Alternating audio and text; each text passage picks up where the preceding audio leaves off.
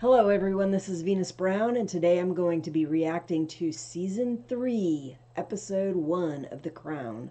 Called Olding. Now, to me, that sounds ageist, but I don't know, because I don't know what Olding actually means. So let's find out. The post office is delighted with the new profile, ma'am, A postal stamp. which they feel to be an elegant reflection of Her Majesty's transition from young woman to Old bet? A mother of four, a settled sovereign. Hmm. God, I love her. Age is rarely kind to anyone. Nothing one can do about it. One just has to get on with it.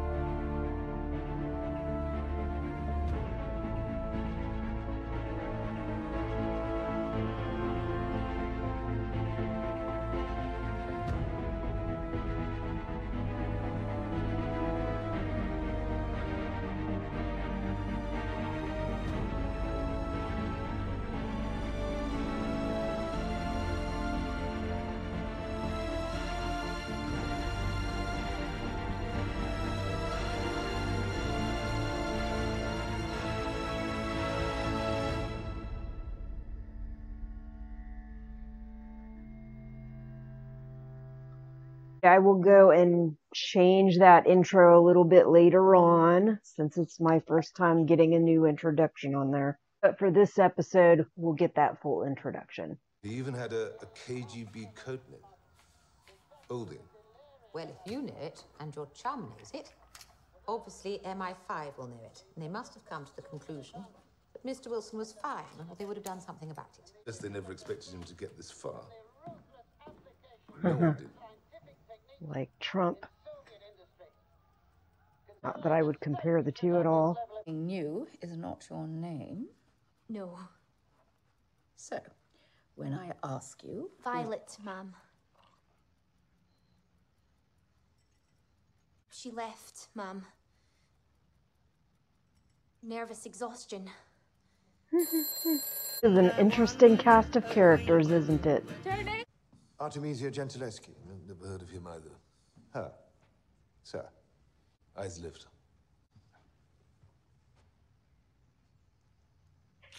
Eyes left. They're not stupid, which I appreciate. So, to that end, where are we now, do you suppose? The frighteningly modern? I think that all depends on the result of the general election today. Oh, yes, have you voted? I know one shouldn't ask. I have, ma'am. Conservative. Really? I always had you down as a man of the left. Uh, perhaps once. Not anymore. Who's this? Rembrandt. An old man in military costume. Wonderfully enigmatic character. Speaking of enigmas, what do we make of Mr. Wilson? Once heard the rumors, of course. Rumors, ma'am. Yes, whilst on a trade mission to Moscow, the KGB got him. Nonsense, I know. I wouldn't dismiss them so quickly. For a young socialist to visit Russia in those days, with an impressionable mind, it's not unthinkable he might have been turned to more radical ideas. But Mr. Wilson is an older man now, and I'm sure a wiser one. Terrible bully. You are my guardian angel. the roof over my head. Great Britain be without its He's sleeping, isn't he? greatest Briton.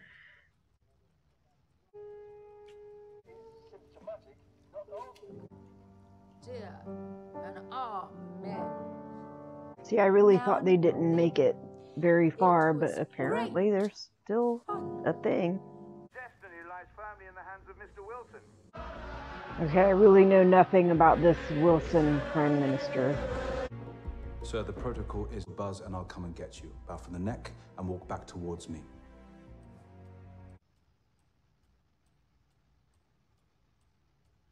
Well, I suppose I should kick things off with an apology. Whatever for? Winning. Enough of the mess those conservatives left us house prices, race riots, sex scandals, unemployment, rejection from the EEC, and an annual trade deficit of 800 million with little success, and my party cannot risk being seen as the party of devaluation. Pound is a powerful symbol. Can't have been an easy one to get used to. What's that? You being part of that symbol, your face on every coin and banknote. My father's face on a shilling for the first time, and thinking how odd it looked. At the same time, realizing I would probably one day have to look at my own face. But one never knows what destiny has in store for one. Highly unremarkable. Best qualities in a like spy. a stuffed shirt. What did you say? Stand out in a crowd. We used to say that about Henry, didn't we, dear? What? That you would have made the perfect spy, because no one could remember having met you. Better than everyone having nightmares, having met you.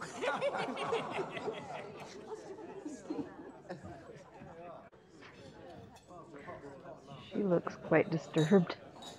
He looks like he's Tony, enjoying One himself. never knows quite goes from loving to hating. Mummy, you're not listening. Hmm? Try not to let him consume you like this. Oh, It's kind of pretty, but the curtains mm. really mm-hmm. clash with that whole setup there. He's you none of the time. Because mm, he's always working, traveling, or water skiing. It's my new passion, ma'am. Your Majesty, there's a telephone. On the lake in Sunny.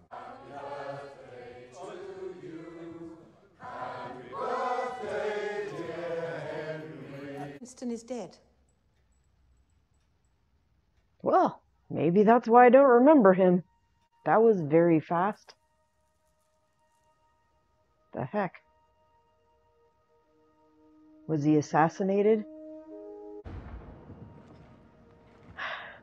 So what do they do with that if he just died right after taking the position?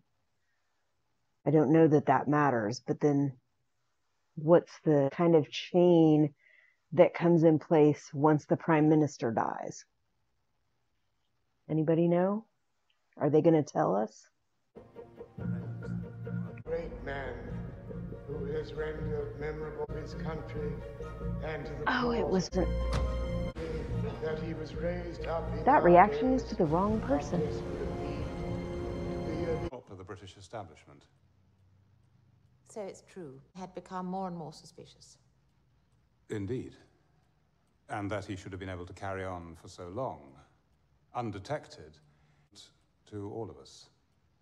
The spy in Downing Street. Those rumors, you're talking about Harold Wilson. So Yes, just like I was confused about two, they were confused about working on Bill in two sets of years. rumors. Don't have a Russian spy in Downing Street. No, in Buckingham Palace. Hidden intentions, multiple meanings. of this guy.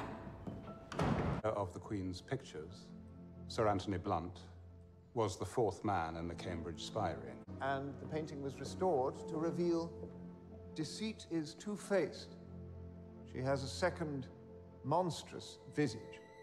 And that alongside conducting a distinguished career, spent 15 years as an active KGB mole and passed almost 2,000 documents of sensitive military secrets to the Kremlin. Truth will out. Well, that sounds very self-prophetic. With his career and reputation intact, just to spare MI5's blushes. Man should be shot. I agree. But instead, I had to get up and pay tribute to him at this exhibition. How am I supposed to get through my speech? I might choke on my words.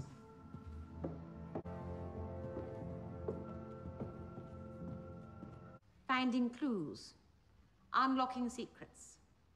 It's been quite an education. I particularly enjoyed the portrait which turned out to have another person lurking beneath the surface. And in the dark, as usual. Not another person, ma'am. The same person. Two different versions of the same person. The idealized version of themselves they want to be seen.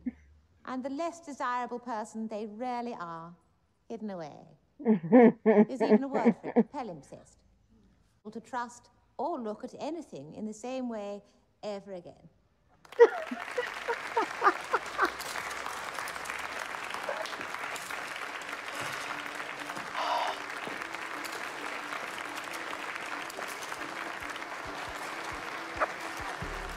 apologize in person. What for? There's no need to understand. All you need to know is that I misjudged you terribly, and I'd like to take this opportunity to say sorry. Yes, art, paintings. Well, actually, no, no. Uh, I'm an economist, a statistician at heart. I'm happiest with numbers, or mystery, or deception, or allegory. See is what you get. I prefer things that way. I quite agree.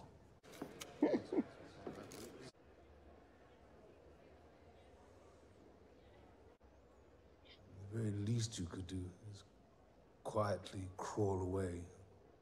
or force us to. I'm going to be watching you, expose you, and have you thrown in jail. I would think long and hard before I did that, sir. Reflect on your own position. What are you talking about? You may remember there was talk of a member of the royal family. Very senior. Their hands on those portraits. Most, all sorts of things to make sense of the past. Happy for your truth to be the truth. The storm it would create. And for what? It's the past.